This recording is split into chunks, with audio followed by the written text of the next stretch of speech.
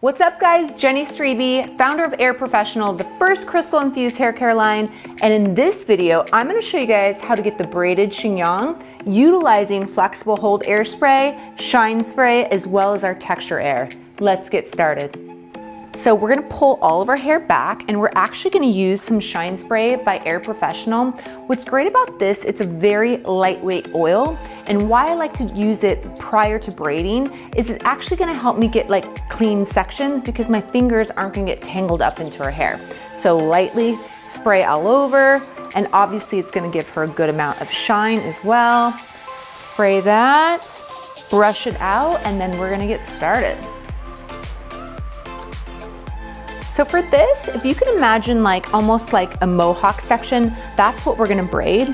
And we wanna clip away the sides for later. She has extensions in there, so we wanna be mindful for that. So I'm just gonna create kind of almost a little C curvature section, leaving those out for now. And then we're gonna do the same thing on the opposite side and then get started with our braid. Okay, I'm just gonna use my fingers now and we're gonna start on the top here.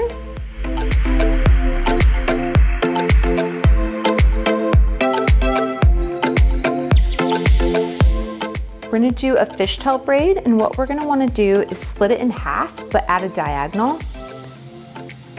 We're gonna take a small section of hair, cross it over to the right, small piece of hair from our right, cross it over to the left. All right, so now we've done the first stitch, so now we wanna go ahead and continue, but we're gonna actually add it on scalp. So taking a small piece of hair, crossing it over, and we're not adding any hair into it. That's the difference with this.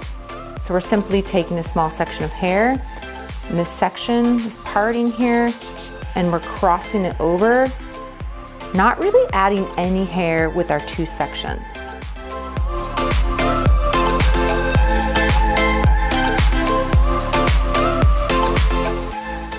Okay, again, we're just continuing on, kind of loose-handed at this point. And she does have clip-in extensions, so we're just kind of disregarding those. It's gonna be pulled out and covered anyway, so it doesn't really matter too much. So now we're getting to the nape of her neck. We're actually going to just take a hair elastic to this and secure it into place. Okay, so now we're gonna take the texture air and we're gonna go ahead and spray that through in that midsection.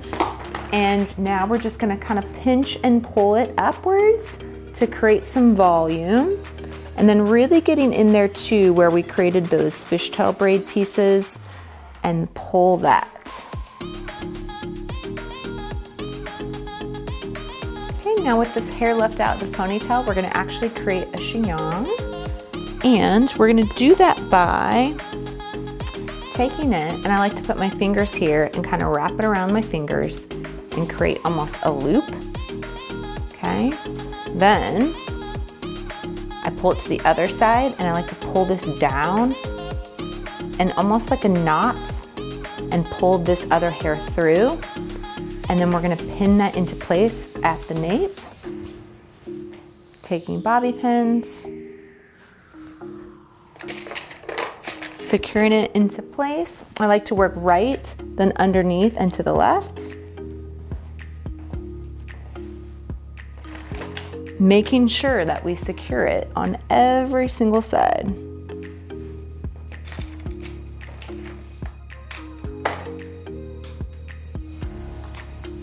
Create that kind of messy look. You guys can keep it a little softer if you want, but I like a little disheveled. Taking some of our flexible hold air spray, spraying it into place, and doing some last minute finishing touches before we pull the sides in. Okay, so now we're gonna go ahead and take these clips out and simply just pull them back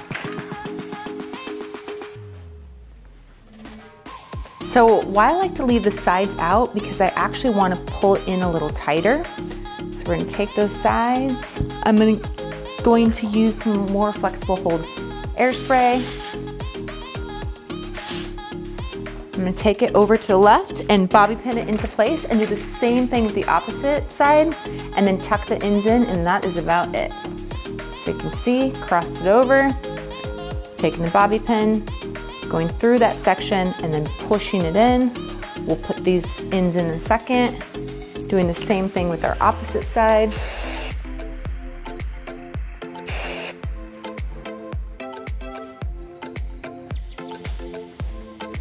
All right, so now we're gonna pull these ends and just kind of put it where we want it and secure it into place with a bobby pin or a hairpin. Hairpins are really great for these sections too, because they're a little bit more delicate. Now we're gonna do some finishing touches in the front.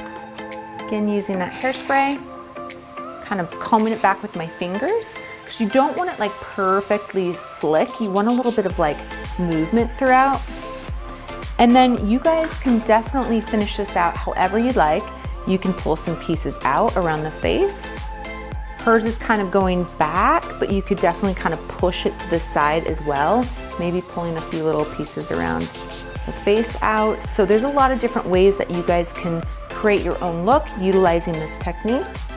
That is about it. I hope you guys enjoyed this tutorial and I'll see you guys soon.